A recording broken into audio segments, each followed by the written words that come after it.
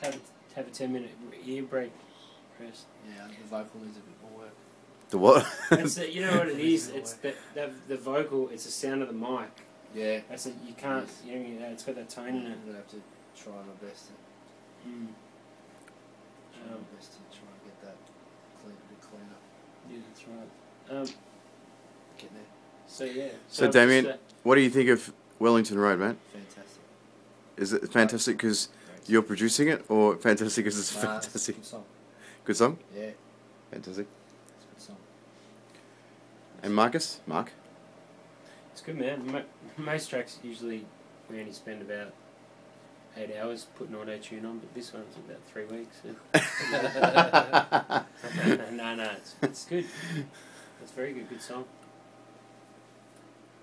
Um, I reckon it's fine. It's nice. It's flat, and then it's big. Mm.